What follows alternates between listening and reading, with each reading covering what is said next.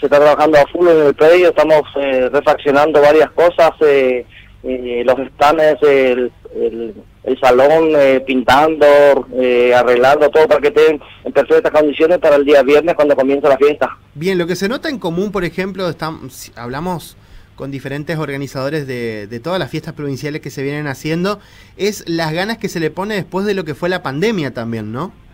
Sí, la verdad que sí, eso genera mucha expectativa eh, generalmente acá en Andresito porque eh, no hubo ni una fiesta todavía eh, para que la gente salga a, a, divertirse, a pasar un rato en familia, entonces hay mucha expectativa por, para que llegue el día de la fiesta. Bien, ¿y con qué se va a encontrar la gente?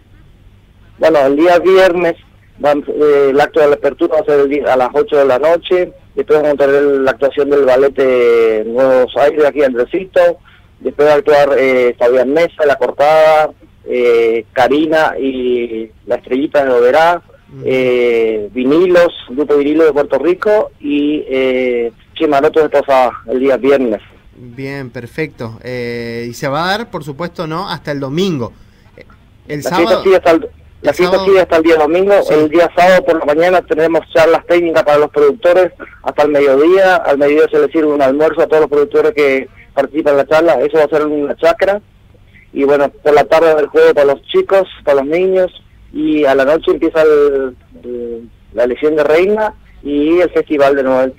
Eh, primeramente va a estar el ballet ucraniano de Alén, después va a estar Fuelles Correntino, la coronación de la nueva reina provincial del agricultor, y eh, va a estar actuando los sombreros de Posada y el cierre con eh, Cristian en la ruta. Eso es el día sábado por la noche. Bien. El día viernes la entrada es gratuita, se va a pedir un alimento no percebero o si no, eh, insumos para el hospital.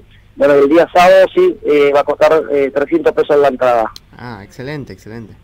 Muy buen precio y por supuesto cierra con todo el domingo.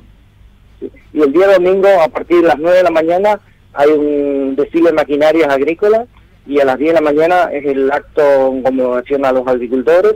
Y bueno, al día, al mediodía el asado las tacas, eh, después se sigue con el remate ganadero, eh, eh, música en el predio, ahí abajo el tinglado con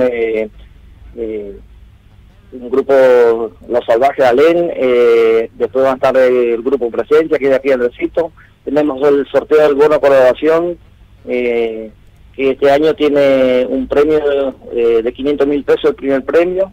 Ah, eh, en total son 24 premios y cuesta 500 pesos el número.